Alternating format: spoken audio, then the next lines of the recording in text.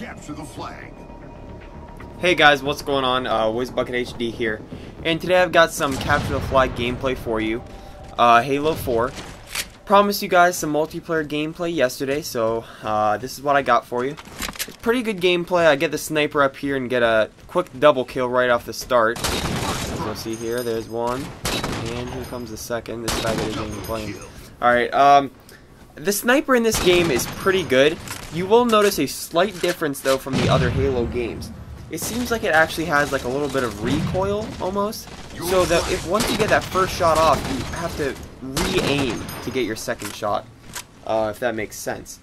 Now, uh, the battle rifle is probably the best um, starting out loadout that you can have. The DMR is pretty good, but that's for only long range. I find it really good at long range, but at close range, the DMR is pretty bad, I think. Uh, it's just hard to get the headshots with it at close range.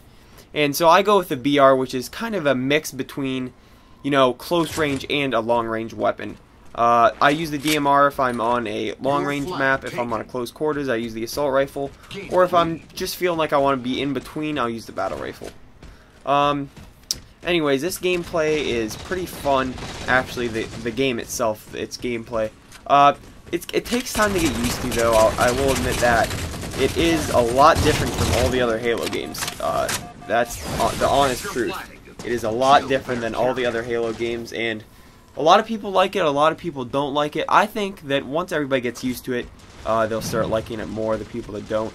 Uh, that's at least what's been with me. Uh, at the beginning, I hated it. I didn't know what to do.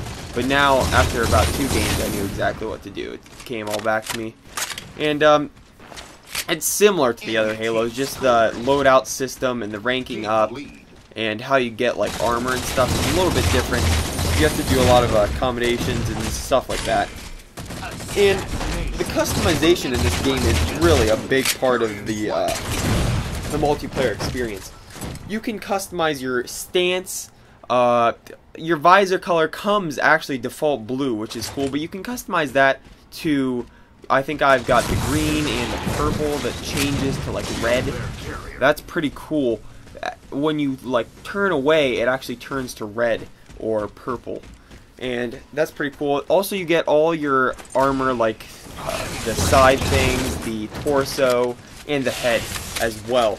Uh, a lot of these come in packages when you get Accommodation Master of some sort of challenge. So, for example, the Assassination uh, Master, you get this really cool helmet. I don't know the name of it offhand, but that's what I'm going for now. And also, when you do the Splatter Accommodation Master, you get the green visor color. So I'm also trying for that. Uh, I hope to get that by tomorrow, probably. And I'll have some more gameplay up for you guys tomorrow as well. And the game modes on this game, I was a little bit disappointed. Um, there, there really isn't that much of a, of a, I don't know. There's, there's uh, three Slayers that I know of. There's Infinity Slayer, Big Slayer, and the Slayer Pro. Now, uh, what I was really hoping for is that SWAT would be back, but I, I there's no SWAT. I don't know if they're planning on bringing it back or maybe that that'll be just something that is a thing of the past, really. But I know a lot of people enjoyed SWAT and that a lot of people love to have SWAT back. So I really do hope 343 brings that back. And the Grifball is not in here either, I don't believe. And that was always pretty fun to play. And, I mean, a lot of people enjoyed that too. It's not really for competitive gameplay, but just more on the fun side. Uh, but that's pretty much all I have to say right now about the game types themselves. Otherwise, it's pretty fun. And as you know, some you are allowed to use your loadouts, other ones you're not. But the loadouts, they really, you can only use a few guns. It's not like you can just make rocket launcher and fuel rod cannon as your thing. You can't do that, because that'd be definitely OP. So, I really enjoy this game so far. Uh, the whole thing, campaign, multiplayer. I have not had a chance to get the Spartan Ops gameplay yet, but I will hope to get some Spartan Ops gameplay for you guys next week. And uh, thanks for watching this video. I hope you enjoyed it. Peace out.